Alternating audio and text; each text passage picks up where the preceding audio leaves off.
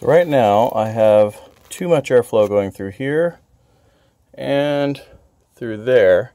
So I'm going to install a damper right here. And this is how we do it.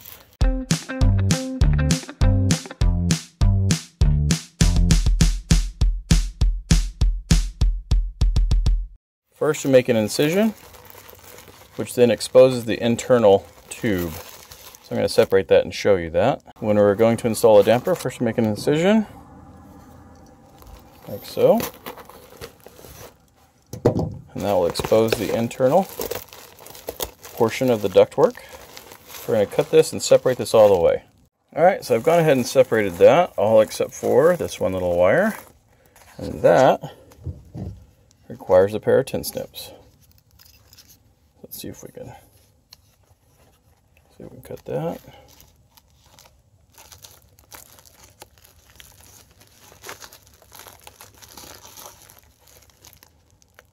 Alright, here we go.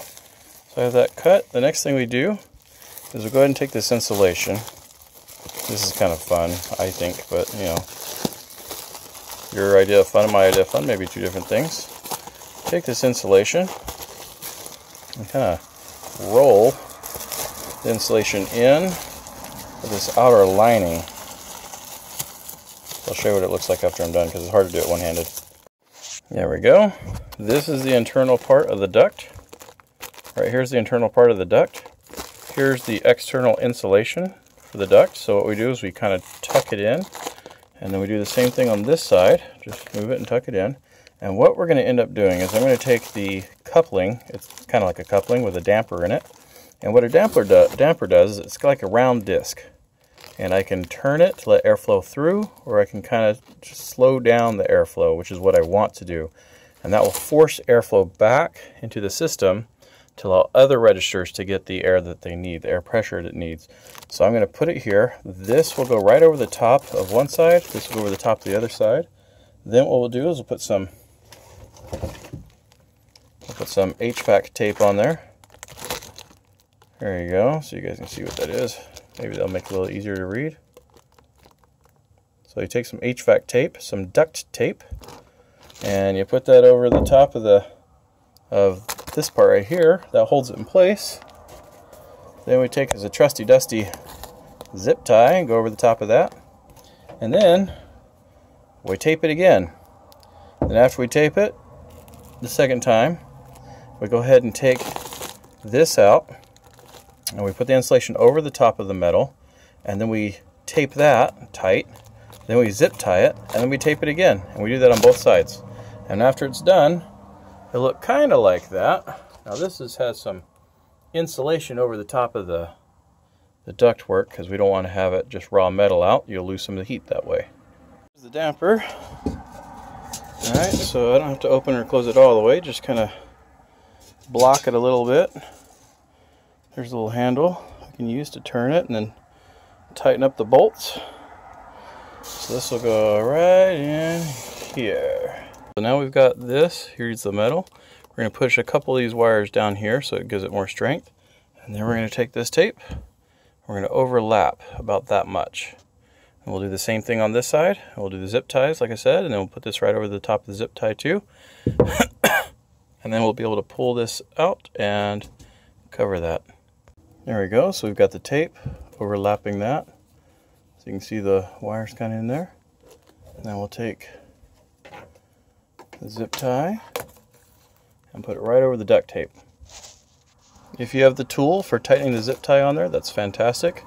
So there it is. There's the edge of the tape. There's the zip tie and there's the tape so that we have the tape acts as a strength so that the zip tie doesn't cut right through the plastic. And what we'll do is we can either cut this off uh, or we can kind of tape it into the folds like that, which is probably what we'll do. I've gone over this actually twice over the top of where that uh, zip tie folds over. So I've got two layers on top of there. That's what I prefer to do. The next thing is to take this part and overlap it. Alright, so this side's all ready to go to have this outer insulation cover this, then tape and zip and tape.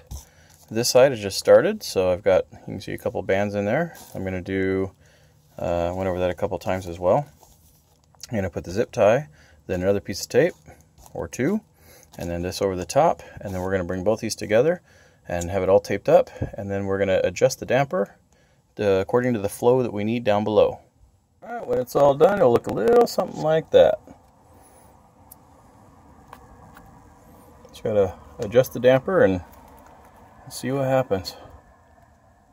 Installing the ductwork to the registers is very similar. Here you'll see that I've stripped back the same way that I did for the damper and I've put the, uh, the internal piece over the top and I will do the same thing. I will go ahead and tape it, zip it, tape it, unfold the insulation, tape it, zip it, and tape it again. We zip tied and then duct taped over the zip tie.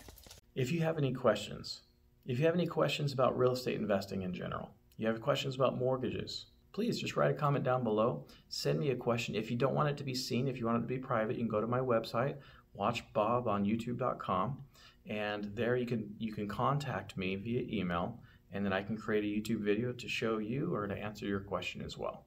And if you want it just private, I can do that too. Hey guys, thanks for watching. If you liked it, give me a like. If you didn't like it, tap it twice. And then don't forget to subscribe. Thanks guys.